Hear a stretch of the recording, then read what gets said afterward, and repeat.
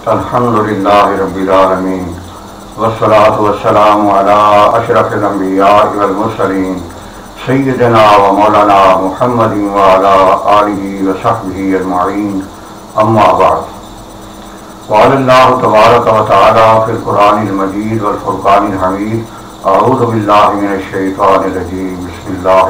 बसमीम इन सलात कानत अलमिन किताब मौकूता सदक़ल्लाजीम वकाल नबी सल्लाम असलात महराजमिन वजोलतरतनी फिसलात सदकल्लाजीम वसदक रसूलनबीकरीम वनहन वलाका नबिन शाहिदीन वशाकिन अलहमदिल्ला रबीआलमीन इशार बारी तारा है बेशक नमाज़ अपने वक्त पर मुसलमानों पर फ़र्ज़ की गई है फरमाया, नबी पाक सल्लल्लाहु अलैहि वसल्लम ने कि नमाज़ मोमिन की महराज है और आपने शाह फरमाया कि नमाज़ मेरी आँखों की ठंडक है। नमाज़ एक अहम इबादत है जो कि हर मुसलमान पर पाँच वक्त की नमाज़ पढ़ना फ़र्ज़ है। और जो आदमी नमाज़ नहीं पढ़ता गोया वो कुफर के करीब हो जाता है। हदीसी का मफहूम ये है कि नमाज़ कुफर और इस्लाम के दरमियान फ़र्क करने वाली है। इसकी मिसाल आप यूँ समझें कि कोई महफिल में कुछ लोग बैठे हुए हैं, मजलिस लगी हुई है। इसी स्ना में मुआजिन ने आज़ान दी है और मुसलमान आदमी फ़ौरन लप कर जाएगा नमाज़ पढ़ने के लिए, मुश्किल चलेगा कि नमाज़ का टाइम हो गया है।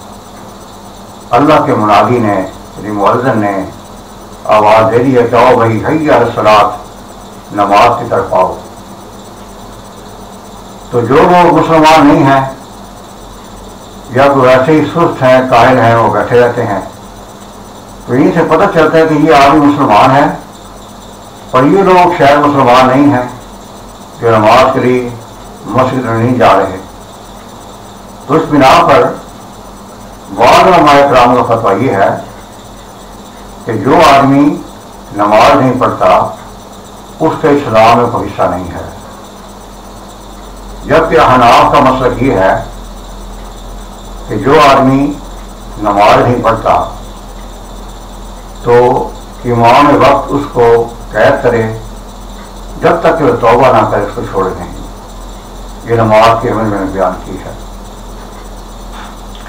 तो पाँच वक्त की नमाज़, उसके जुमला हकूक के साथ अदा करना हर मुसलमान पर ज़रूरी है। यानी नमाजी ने गुरु सही किया हो, उसके अलावा जानता हो कि नमाज़ के फ़ायद कितने हैं, कितने वाजिबात हैं, कितनी सुनते हैं, नमाज़ को किस तरह से अदा किया जाए। तो ये तमाम बातें सेहत नमाज़ के लिए ज़रूरी है। इसमें नीयत भी शामिल है कि जो आदमी नमाज़ पढ़ रहा है, उसे ये यकन हो, उसके दिल में ये पक हो कि मैं फला नमाज़ पढ़ रहा हूँ। ऐसा नहीं है कि भाग आया, जल्दी से वज़ू किया, इमाम साहब मिल गया, पीछे इमाम के अल्लाह अकबर। ये नहीं जानते कि मैं कौन सी नमाज़ पढ़ रहा हूँ। या इमाम साहब कौन सी नमाज़ पढ़ रहे हैं तो नियत करना बहुत ज़रूरी है। और बात यह है कि दीन सलाम एक ऐसा फिरका है, जो वचन नियत किस हिसाब से करता है, करता या नहीं करता, मगर साथ ही साथ वो नियत करने वालों का मज़ाक भी उड़ाता है। जब ऐसे लोग किसी टीवी टॉक शो में आते हैं तो कोई आदमी से दरियाफ्त करे कि मौली साहब, ये तो बताएँ कि नीयत कैसे की जाती है। तो उस नीयत करने का मज़ाक उड़ाते हैं, एक ठट्ठा मारते हैं, कहते हैं, वाह भी वाह, ये नीयत करने का भी तो मसला है। फिर गलत मिसाल पेश करते हैं कि अब कोई आदमी वज़ू कर रहा है तो ये नीयत ही करेगा कि मैं फलाने का बैठा हूँ इसके पाइप प्लास्टिक के हैं, ये लोहे के हैं टूटियाँ पीतल की हैं, ये कौन सी हैं? मेरे दाएँ में कौन शख्स बैठा है? इस तरह की बातें करके वो नीयत का मज़ाक उड़ाते हैं। हालाँकि फ़िक्र में ये बात शराब के साथ लिखी हुई है कि नीयत तो फिर गुलू है रही सत बेशर्त कि उर्दू में नीयत शर्त ही नहीं है। तो फिर क्यों ये वज़ू की नीयत करके मज़ाक उड़ाते हैं हाँ जी टूटियाँ पीतल की हैं, इसके पाए फलाने हैं, ये भी नीयत में करेगा। वे दाएँ बाएँ फलाशस बैठे हैं। इस तरह एक लघु बात कहकर, गलत बात कहकर, वो नीयत जैसे है मसला का मज़ाक उड़ाते हैं। यानी आम वो टीवी टाट हो बैठे हैं। तो लोग कहते हैं, देखो भाई, ये पूछने वाले जो बात पूछी है। बताने वाला इस तरह बता रहा है कि शायद ये कोई बात ही नहीं है। वगैरह वगैरह। फिर दूसरी बात मैं अक्सर इस सवाल के जवाब में यूँ कहता हूँ कि देखिए अल्लाह रब्बुल आलमीन के पैगंबर ने जो बात हमें बतलाई कि इन्नमल आमाल बिन नीयात तमाम आमाल का दार मदार नीयतों पर है। सिर्फ़ नमाज़ का नहीं तमाम आमाल का। तो फिर मैं एक मिसाल लेता हूँ वज़ू भी एक अमल है। तो फिर वज़ू में भी उसी तरह ज़ुबान से नियत करे। सही, सही। कि नियत करता हूँ मैं वज़ू की टूटी है, पीतल की पानी है, खारा मुँह मेरा मशरक को, फिर बिस्मिल्लाह पढ़कर उसका वज़ू करे। नीयत का मसला ये है कि आदमी को ये पता हो कि मैं फला नमाज़ पढ़ रहा हूँ। नीयत नमाज़ में दाखिल होने के इरादा को कहते हैं।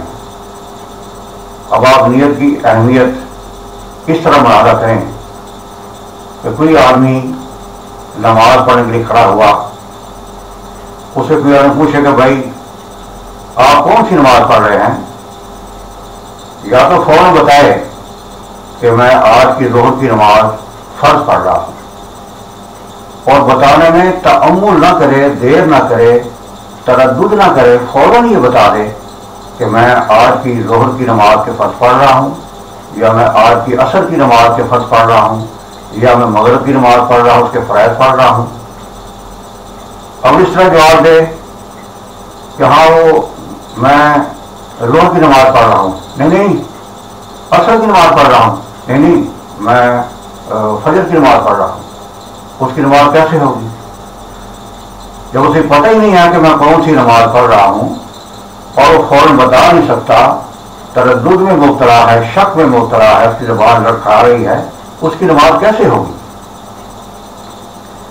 तो उसे फिर दूसरी बात यह है, उसे ये पता हो कि नमाज़ का फ़र्ज़, नमाज़ में कितने फ़र्ज़ हैं, कितनी सुनते हैं।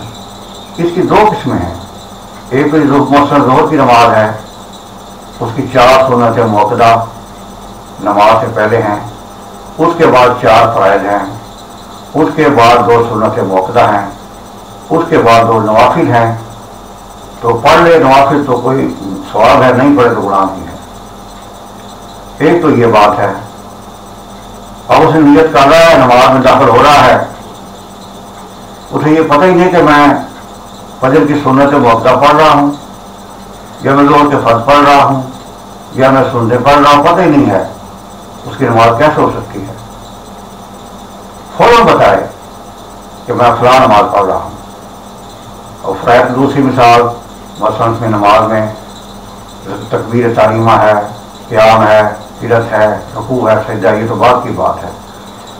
तो जब एक शख्स को इतनी मालूम नहीं है, वो नमाज़ पढ़ के मस्जिद में आ गया है, मुसलमान है, बुज़ुर्ग के मस्जिद में आया है, उसे इलम ही नहीं है कि मैं कौन सी नमाज़ पढ़ रहा हूँ। पूछने वाले को बता तो रहा है, मगर वो शक में उतरा है। उसके बाद नमाज़ कैसे होगी? ये है नीयत की अहमियत। बेशक बात यह है कि वो नमाज़ पढ़ने की नीयत करे कि मैं जोहर की नमाज़ पढ़ रहा हूँ।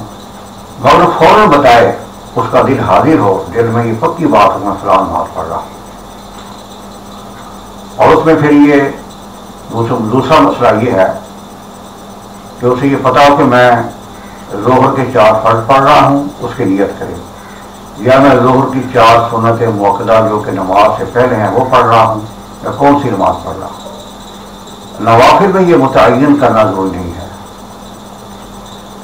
और, और मसला ये है कि अगर वो किसी शख्स किसी इमाम के पीछे नमाज़ पढ़ रहा है उस दौरान तीन बातें मुख्तदी पर कहना फ़र्ज़ है और दो बातें इमाम के लिए ज़रूरी हैं। नीयत में इमाम के लिए दो बातें ये ज़रूरी हैं। एक तो वो कहे कि मैं आज की नमाज़ फ़र्ज़ ज़ोर पढ़ रहा हूँ नमाज़ पढ़ रहा हूँ और इबादत अल्लाह तला के वास्ते है और मुँह मेरा काबिल शरीफ है। हर नीयत में दो बातें ज़रूरी हैं। एक कहने अल्लाह के वास्ते है। मैं जो नमाज़ पढ़ रहा हूँ, ये मैं खालिश अल्लाह की बात कर रहा हूँ। मैं कोई नमाज़ रोसिया नहीं पढ़ रहा, मैं कोई और नमाज़ नहीं पढ़ रहा। मैं जोहर पढ़ रहा हूँ खास अल्लाह की बात कर रहा हूँ और मुँह मेरा तरफ़ काबिल शरीफ है। ये दो बातें ज़रूरी हैं। अगर वो ये नहीं कहेगा कि मैं अल्लाह के वास्ते नमाज़ पढ़ रहा हूँ, उसकी नमाज़ ही होगी। नमाज़ तो है ही अल्लाह तला के लिए। किसी और की नमाज़ है ही नहीं। दूसरी बात यह कि मुँह तरफ़ काबे शरीफ, मेरा मुँह काबा शरीफ तरफ़ का ये ज़रूरी है कि मुँह जब भी आदमी नमाज़ पढ़े तो नमाज़ फरैद में यह बात शामिल है कि उसका मुँह काबा शरीफ तरफ़ होना चाहिए, किसी और तरफ़ होना चाहिए, काबा की जिहत तरफ़ होना चाहिए। ये अलग बात है कि अगर कोई आदमी किसी जंगल में सहारा में सफ़र कर रहा है, उस पर किबला मुश्तबे हो गया है, उसे शुभा है कि पता मेरा मुँह किस तरफ़ है तो कोशिश करें किसी मुकामी आदमी से पूछे या अटकल दौड़ाए तहरी करे, सितारों की तरफ़ से या किसी और तरीका से, या उसके पास कोई कुतुब नुमा हो, या क्यूला नुमा आजकल आए हुए वो हो वो हो। अगर कुछ भी नहीं है, फिर वो अपनी पूरी कोशिश करे कि मुँह तरफ़ काबा शरीफ करने की काबा सिमत मालूम करने की कोशिश करे, उसके बाद नमाज़ पढ़े या मरीज़ की नमाज़ है। अगर वो किसी किबला तरफ़ वो नहीं कर सकता, फिर उसकी मजबूरी है। इशार वाली ताला है। फ़ीना मातु वल्लू, फसम्मा वजुल्ला जिस तरह मुँह करके नमाज़ पढ़ोगे, उसी तरफ़ अल्लाह तबारक ताला है। तो ये मजबूरी में है कि कोई मजबूर है, कोई मरीज़ है, उसे पता नहीं चल रहा। तो दो बातें कहना ज़रूरी है नीयत में। पहली बात यह कि मैं इबादत अल्लाह के वास्ते कर रहा हूँ और दूसरी बात कि मुँह मेरा काबा शरीफ तरफ़ है। मैं अभी कह रहा था कि मुतदी के लिए तीन बातें हैं, इमाम के लिए दो बातें हैं।